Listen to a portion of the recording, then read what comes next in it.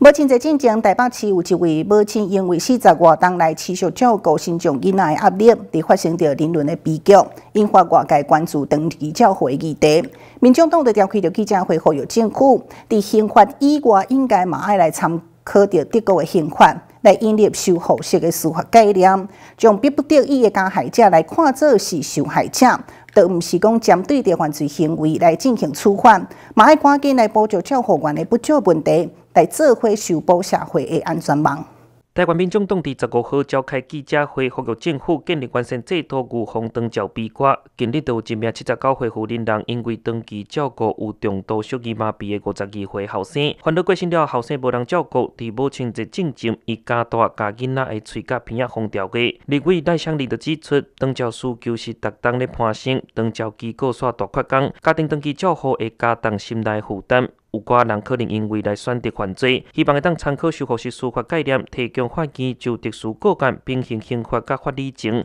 期判修复人际关系迫害。法务部自己呢，也针对这个啊，是不是啊有这个所谓在呃致人于死的杀人罪部分，有因不得已情事哈，这个是一个很关键的呃文字，有没有可能呢参采德国刑法二一三条？的情节轻微杀人罪的立法呢，可以有一些这个啊这个减刑的刑度哈。法务部他们也知道长照悲剧一再发生哈，他们对于修法是有一个想法，所以我们在这里很呃明确的建议哈，我们认为是可以参采德国刑法二一三条的精神哈，把所谓其他因不得已的事由呢，作为在这个缓刑减刑的一个呃立法的一个事由，当然是要建立啊有这个证据的标准跟评估的机制啊，所以呢不会让各界认为说这样子会不会又重放了其他的人哈，或者是说在审判的时候有滥权之可能性哈，造成无可返回的这个效果。根据资料统计，二零二零年贷款登记服务涵盖率干了百分之六十九点五，虽然支出六百亿费用，不过随着人口老化、登记需求暴增，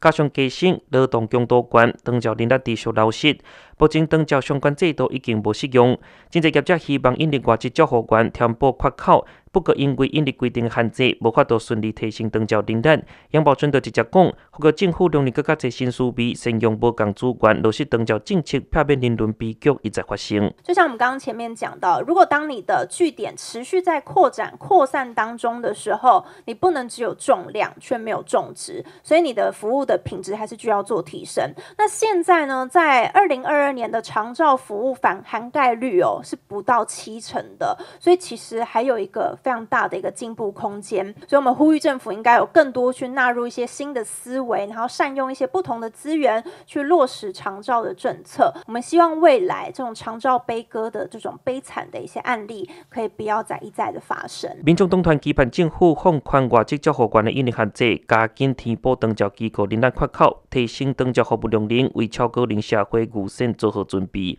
记者薛峰台北采访报道。